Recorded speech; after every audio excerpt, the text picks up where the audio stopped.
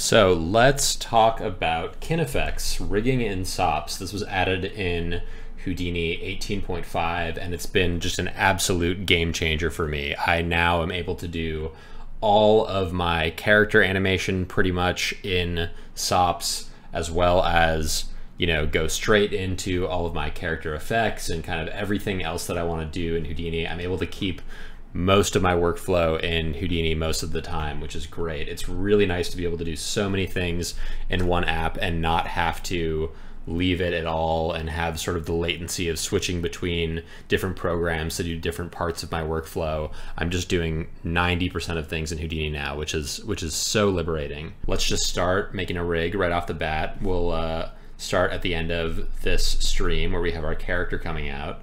Um, and the first thing that we need to start rigging for Kinefx to do a quick and dirty Kinefx rig is the skeleton SOP.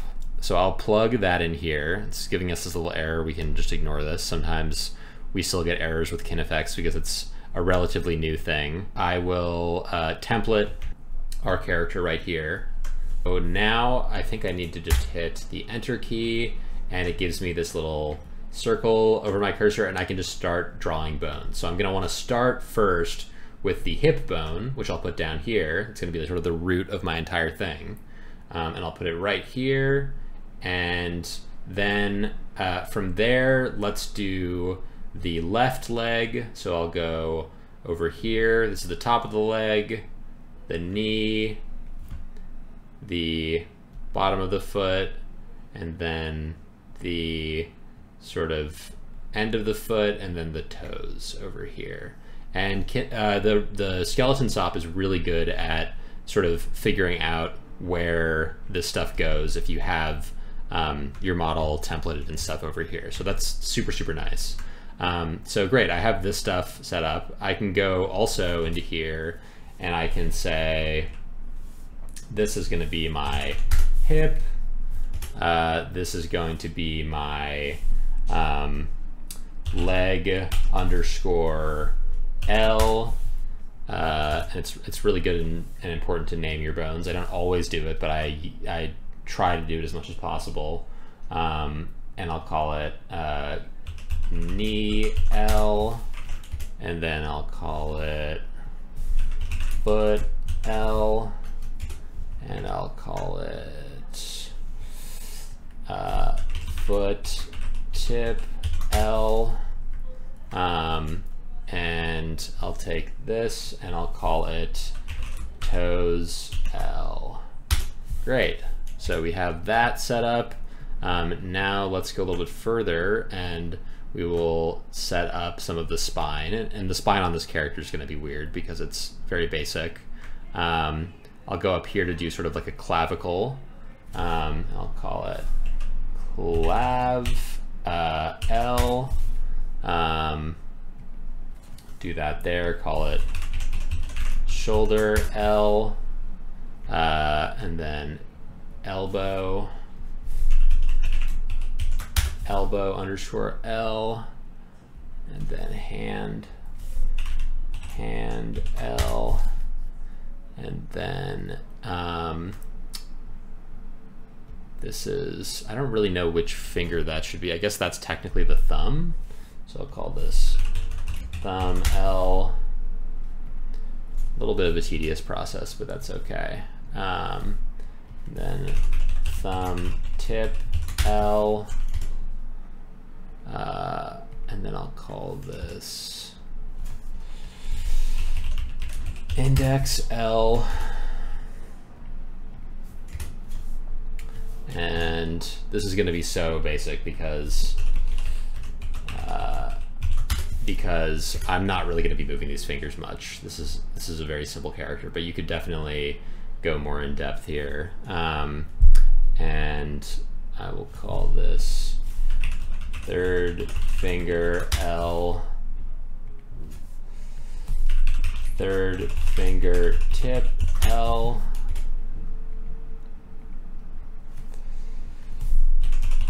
pinky, L, and pinky tip L. Great. So we got that all set up. Um, then we we didn't name this is the this is the chest. Um, and then uh, we're we're pretty close now. We can probably do um, this up here can be like the head. Call this head. And then maybe we'll just do one up here for uh, head tip. Um, and that's pretty much good for now. Um, we could certainly add more stuff for the mouth and stuff. Actually, why don't, why don't we just do that just for good measure? It doesn't hurt to have more bones in there. So I will um, pull out from here and I will do this one called uh, jaw. We'll do another one here and I'll call this jaw 2 and then I'll call this mouth bot. Great.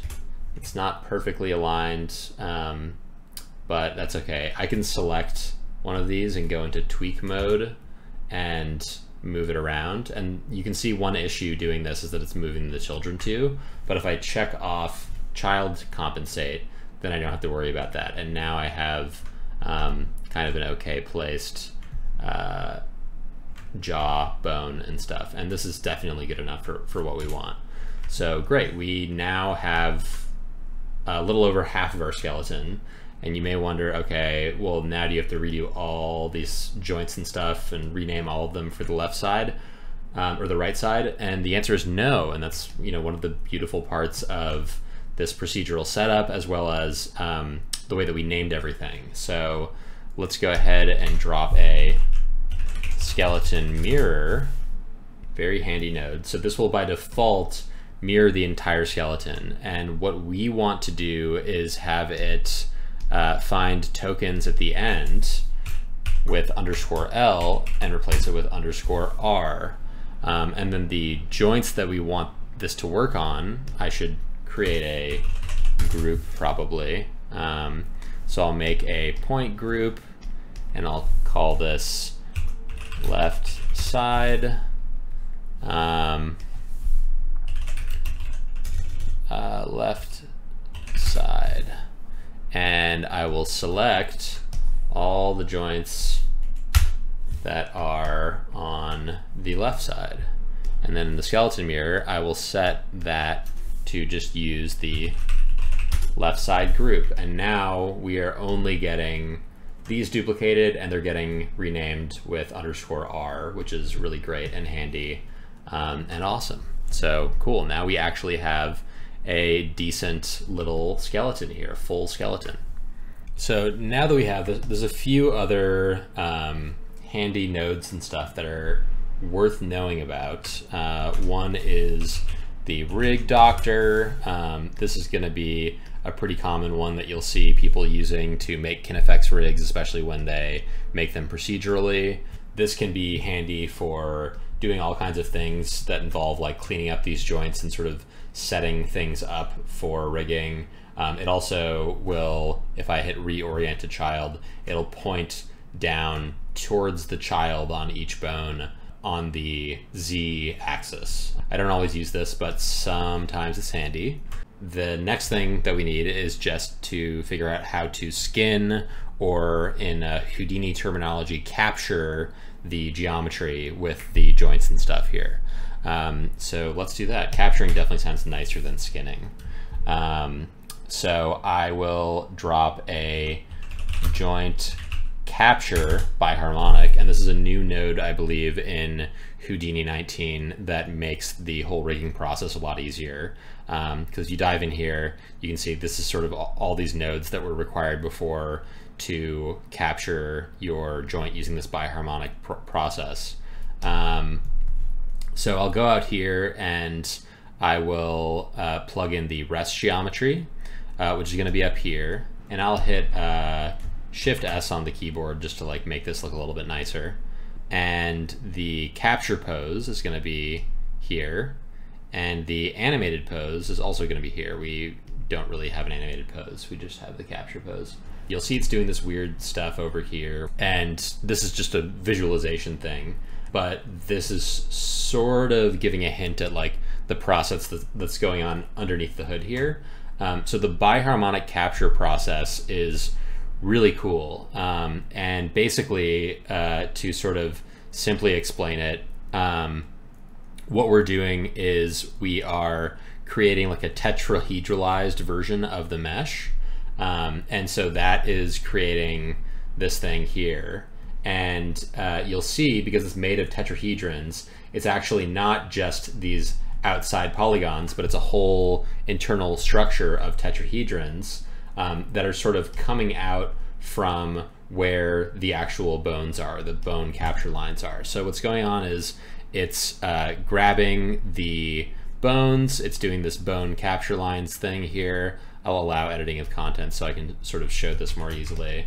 Um, so the bone capture lines is like resampling all the bones basically. And then in this tet conform thingy we have here, um, we can see if we clip the tet mesh, um, like I said, there is all of these tetrahedrons inside and it's all kind of coming out from uh, the bone capture lines. So the um, that's sort of like how it's doing the capturing is it's sort of like uh, searching out from almost like a central nervous system that it's built using this tet conform and we can change the resolution of this tet conform and you know that may help fix things or make it more accurate or whatever. Um, but uh, but that's how it's deciding this is the bone that is influencing this part of the skin or, or part of the geo. So uh, super cool system works really well doesn't require a whole lot of work sort of doing weight painting out of the box especially again if you're someone like me who's kind of doing more quick and dirty cartoony simple characters um, as opposed to like you know really high end realistic animals for feature film or commercials like you'd see you know uh, big studios working on. So now we have this you know version of the mesh that's been skinned and we have all these bone capture attributes and all this good stuff. Um, so what do we do that with that? How can we how can we test that? Um, so what we can do is we can drop a bone deform and you'll see we want to just like plug in the same three nodes here. And so bone deform takes in the skinned geometry, the rest skeleton, and then the animated skeleton. Um, so what I can do if I want to test this guy out and animate him or whatever is put in a rig pose. And this is just sort of a node that lets you um, animate skeletons or pose skeletons or you know do all that kind of good stuff that an animator needs to be able to do. Um, so now I can grab one of these joints and I can just directly start moving these around and sort of see what happens. And you know, this is maybe not ideal the way that this is deforming and, and we can, you know, talk about weight painting and stuff a little bit. Um, but at the same time, what I'm making is a pretty cartoony little character, and you know maybe it's fine that he's deforming like that. Another thing worth mentioning is uh, a really great way to fix sort of uh, funky deformations and stuff that you may get in your rigs and stuff from bone deforming and all that, um, which I'm not seeing like a ton of right now um, is using a delta mush node, which is really, really handy. So I will usually, in order to cheat even more and avoid having to do even more skinning and stuff, um, and like fixing the, you know, capture on my mesh, I will use a delta mush node here, and I'll plug in the deformed geometry, and again, the reference geometry, and it will kind of help smooth things out. So you can see kind of the difference here it definitely helps things a bit. And this is a really useful node for character rigging as well as all kinds of other stuff. It can be useful for vellum and point deforming and, and, and all kinds of things like that. So, okay, now we, we want to animate this character. So, you know, we should be good, right? We have the rig pose and we can move the arms around, move the hips, and we can move the legs and, you know, pose it however we want. Um, and we can set uh, keyframes so I can grab this guy, set a keyframe on everything, you know, move the hip over here and move the leg out here, move that guy and keyframe it. And we have a little animated guy. So we have everything we need to make this animation, right? Definitely not, not quite. Um, we are missing uh, any kind of inverse kinematics IK controls, which is going to be really important, in particular for most characters for animating their feet. So let's go ahead and set that up. And that is really awesome in KineFX as well. So I will drop my rig pose over here. And then what we want to do is set up IK basically for the feet. Uh, I'm going to drop an IK chains node. This is where we set up our inverse kinematics. So I can plug our skeleton into here and then plug that into there. And then I need the IK drivers on this side. The IK drivers are going to be the uh, the whole IK chain that I want basically for my IK to be set up with. Uh, I want, you know, IK going from this uh, sort of hip here to the foot and then same for the right leg. So I'm going to use a delete joints SOP um, and I'm going to plug that in over here. Um, and I'm going to select the joints that I want to keep and instead of having delete selected, I'll switch to delete non-selected. And so now we have just the IK drivers that we want, basically. So the next thing that we want to do is I usually just check on enable multi-threading because I assume that will give me some kind of speed boost. And I will hit the root name of one of these. And then the mid name is going to be the knee. It's going to bend. And the tip name is going to be the uh, foot that is going to be basically driving all the inverse kinematics. And um, I will say match by name because I'm pulling them off the same skeleton and they have the same name, so they'll all match up. Um, and then I will say orient tip and stretch. And I will do the same for the other chain as well. So root, mid, and tip, match by name, orient tip, stretch, Great. If we move our hip over here, we'll see we got kind of a little thing going on and it'll it'll break kind of quickly like if I move you know the the hip over here um, it's gonna look weird on the knees and stuff or if I sort of move them forward like that the knees are gonna bend in this weird way and that's because uh, the knee joints over here are being used as pole vector constraints which are basically saying, you know, bend this IK chain, you know, in this direction. But since the knees are like only over here and not all the way out here, it's not, um, it's sort of like when we, we pull it beyond that, they'll like twist backwards and then they'll start saying, you know, we want to pull this direction instead. Um, because again, the, we put a rig pose over here, we'll see, you know, even if we move this hip over here, if we select this rig pose, ignore all these errors, now the pole vector constraint is back here and it's going to be sort of like pointing the leg in this direction, which we don't want. So in order to fix this, what I do for the legs is I set these to be world space based.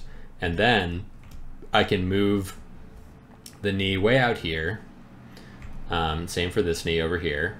It will bend a lot more nicely um, and just kind of in the direction that I want it to, which is cool. And also now I can very easily uh, move the foot and animate the foot and you know plant the foot wherever I want. Um, and the rest of the joints will kind of move accordingly in the joint chain. Um, and I can rotate it and stuff, I believe, because we set it to orient tip. Uh, if we uncheck that, then it will, yeah, just keep pointing forward. So I like the orient tip feature there. Um, the stretch also you'll see, you know, if it's if I'm pulling it and we have stretch on, let me turn stretch off on this one, that it will no longer let me kind of stretch the leg out like that. So stretch is kind of a nice feature as well for that reason.